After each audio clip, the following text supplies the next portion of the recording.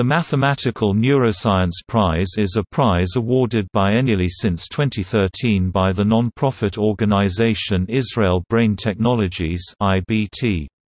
It is endowed with $100,000 for each laureate and honors researchers who have significantly advanced the understanding of the neural mechanisms of perception, behavior and thought through the application of mathematical analysis and modeling.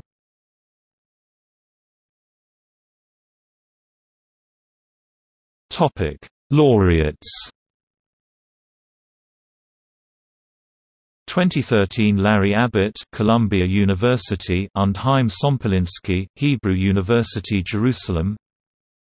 2015 Nancy Kopell, Boston University, und Bard Ermentrout, University of Pittsburgh.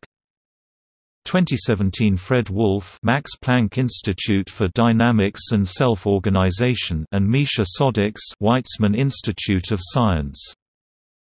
Topic see also The Brain Prize The Kavli Prize The Mind and Brain Prize. Topic Weblinks Prize programs at Israel Brain Technologies Israel Brain org